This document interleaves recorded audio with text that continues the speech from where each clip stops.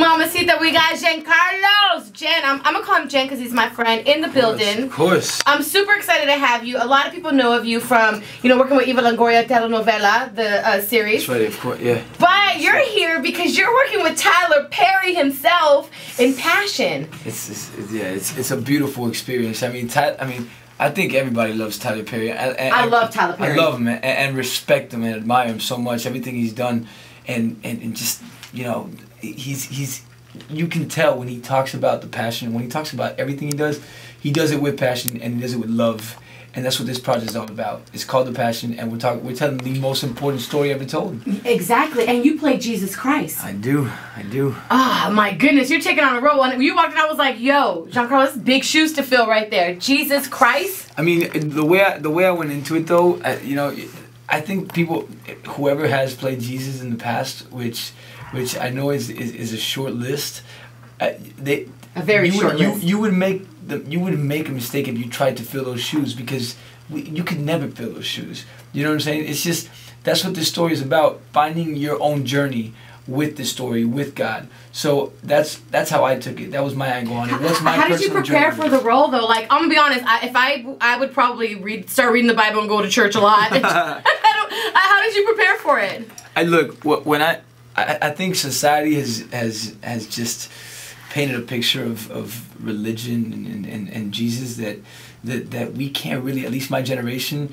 we can't relate to it the way that it's being presented in this show is revolutionary is groundbreaking because it's like if the story of the passion of Christ Uh-huh. were to happen now in our era Oh, yeah, okay. So, there's a twist so, to it. uh, well, you know, it- we're staying true to the biblical sense of it, right? Uh-huh. But the wardrobe, the songs, they're from our generation now, like how we're dressed. So it's so people can identify. Exactly. Instead of the instead of like for example, instead of the crucifixion, like you see the you see SWAT come in, you see the police officers come in, they arrest them, they handcuff them, they really, you know, they, they go they go in on him. So we it puts things into a perspective that we can understand the generation of today, and we can see it in a way we've never seen it before with songs we've heard a hundred thousand times that we've danced to, that we've sung to.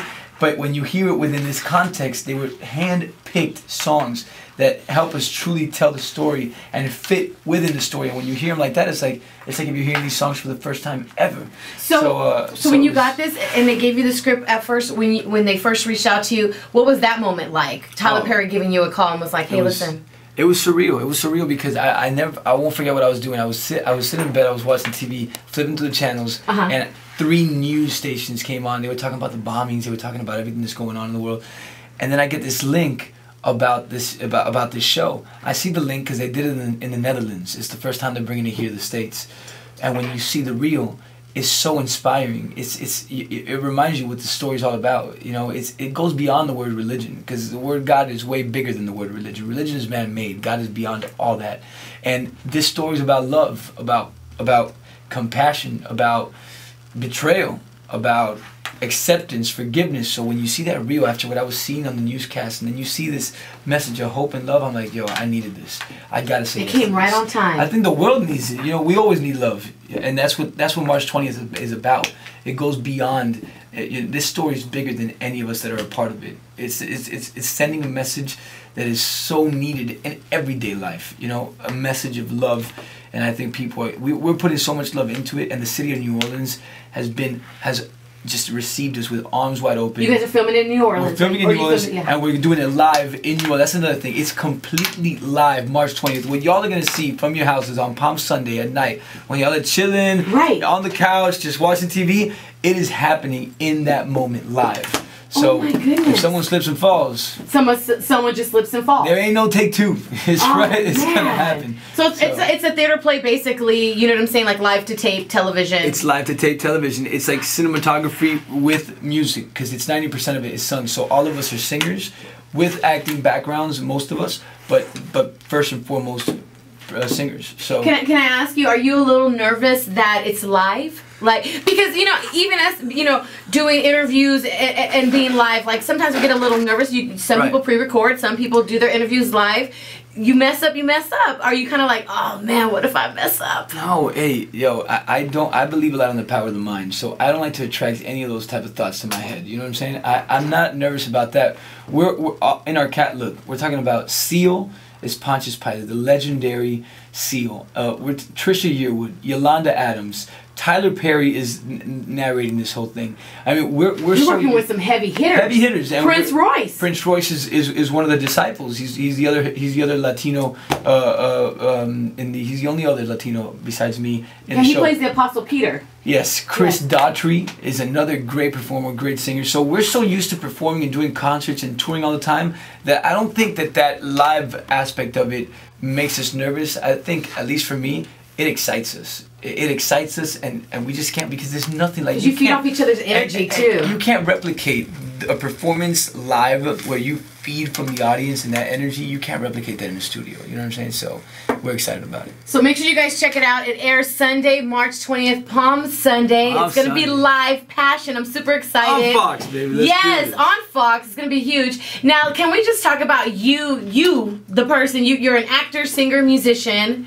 You're you just came out with an album. You're doing an album, right? We're doing the album. You're doing the album. We- yeah, we just got signed by Republic Records and Universal Latin. Is, is- they do my Spanish stuff. We just did central, a tour in Central America. Now we're going to South America, and we just got news. Our Spanish single went double platinum. What? Yes, in Latin America. So we're excited about that and grateful so about that. I know, I know. I'm, I'm blessed. And, and you love R&B. We were talking about I that. love. R&B. He's like, I is my- love some R&B. is my new favorite state. I just moved here. This is my new favorite station. I'm gonna put some. That's right. it gets you in the mood. It the does. You know what? That's what we're all about. K Day, you know, if you don't know, it's the first hip hop station in the world. We are the first. That's why we call ourselves the legendary 935 K Day. We are the first hip hop station in the world. So we try to keep the integrity of what hip hop was and still to this day. But the fact that you've worked with a few hip hop artists yourself, right? Oh well, I, I mean, I I've been influenced by a bunch of hip hop artists. You Like know, who? I grew up.